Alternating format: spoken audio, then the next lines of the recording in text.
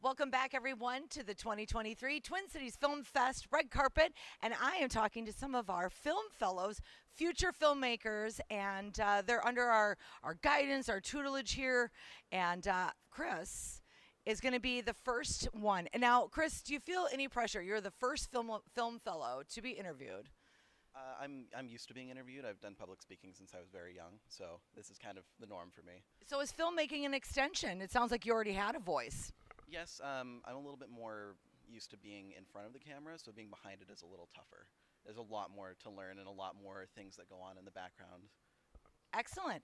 Now, how long is, is this a dream that started recently? Is it evolved into it, or is it something that you've wanted to do for a long time? I wanted to do it since I was very young. I was always a huge fan of movies growing up, watching the same things over and over again on VHS tapes back in the day. Um, we destroyed those things. And so watching uh, everything new coming out of Hollywood and all the things locally that are made is very, very inspiring. Fantastic. I love it, Chris. Now, Chris, quick, quick question. If someone were to play you in the movie of your life, who, who would you want to play you? Who can bring it? Everyone in my family looks very similar, and I have a lot of actors in my family. I would probably say my cousin Jared would do a very good job. So, All right. A little bit of a cop out, but I don't think that's a cop out at all, and it's smart. Keep the money in the family, right? We've learned that, you know. I mean, it kind of worked for the Jacksons. Okay. Terrible joke. All right. And our second filmmaker. Okay, introduce yourself and then tell us a little bit about yourself, where you're from, and how you became interested in filmmaking. My name is Alondra. I've grown up in the Twin Cities my whole life, but I am Mexican. I was born in Mexico. And I'm studying film and theater at Augsburg University right now. Fantastic. Now, were you was theater first, film first, kind of together? How did it work for you? Film was always first. That's what I always uh, loved when I was little, and that's what intrigued me. But then theater is more accessible, unfortunately, but also fortunately, because then it's also given me a lot of opportunities to just flesh out my ideas as an artist. And there's a lot more opportunities in just like locally for theater, so it's it's fed into each other a lot. Fantastic. I love that. So you it, it seems like that's kind of a commonality between the both of you.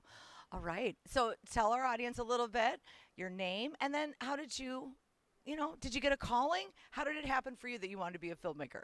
Hi, my name is Gracie. Um, and then I don't know, I've always loved movies my entire life. Um, my dad would bring me to the movies ever since I was like five years old. And so when I was about 14, I realized, oh, I want to like make something that tells a story. You know, I have a lot to like. I have a lot of personal stuff I want to share. Like, I have a lot that I feel like other people would love to just see and love to experience. And so that's just I want. I don't know. I want to share stuff. That's kind of what I want to do.